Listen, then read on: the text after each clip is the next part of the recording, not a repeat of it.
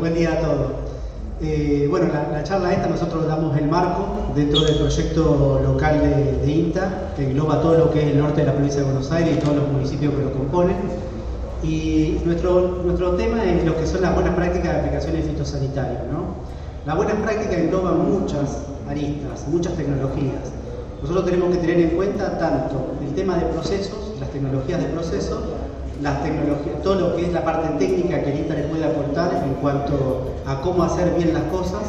Y también tenemos otra pata que es lo legal. Nosotros para hacer bien las aplicaciones tenemos que estar también cubiertos en cuanto a lo legal. Entonces tenemos que saber cómo es el tema de la utilización de la receta agronómica y todas las cuestiones legales que van con relación a eso. Entonces la idea es hacer la práctica, que tengan idea de que se puede hacer bien las cosas y, bueno, la idea es que todos tengan la misma información, tanto la gente que está en formación todavía, como la gente que realiza la actividad y la gente que tiene que controlar o, que son encargados el día de mañana de controlar todo lo que son las aplicaciones del periodo urbano.